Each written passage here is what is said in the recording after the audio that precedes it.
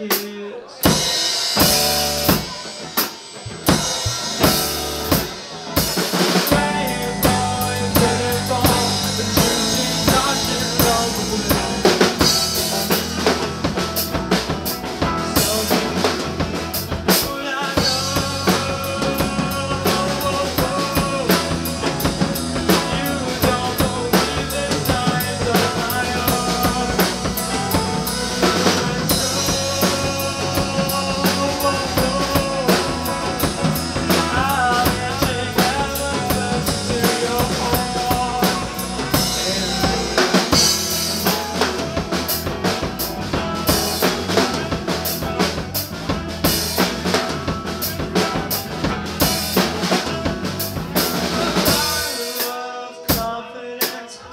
When I make perfect sense?